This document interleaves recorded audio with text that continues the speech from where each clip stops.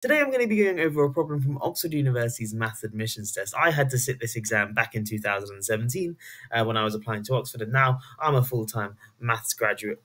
Okay, going live in three, two, one. Today I'm going to be going over a problem from Oxford University's maths admissions test. I had to sit this back in 2017 when I applied to Oxford, and here I am on the other side, a maths graduate from the University of Oxford, now working as a full-time maths tutor, helping students from all across the globe get into study maths. This is one of the problems I like to start my students with when they are first seeing the MAT or MAT style questions for the first time. It comes from 2006, and it's a pretty straightforward problem and one to maybe ease yourself into the advanced mathematics.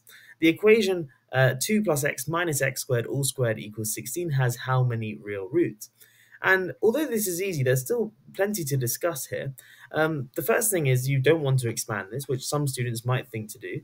Uh, we have 2 plus x minus x squared equals 16. That's also the same as x squared minus x minus 2 squared equals 16. And that just looks a bit nicer because it's a positive x squared.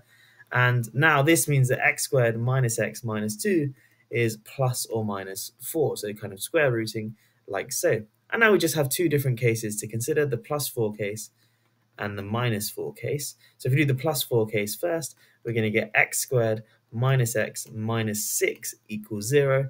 And now we want to know how many real roots this has. Um, so you could just factorize this, or we can just use the discriminant. So I'm going to use that here. So it's going to be minus 1 squared minus 4 times 1 times minus 6, and that's 25, which is clearly positive. So that gives me two solutions. And what about when I have minus 4 here? Well, that's going to give me the equation x squared minus x plus 2 equals 0. And again, if I look at the discriminant here, it's minus 1 squared minus 4 times 1 times 2, which is minus 7, which is negative. And so therefore, I only have two real solutions, so the answer is C.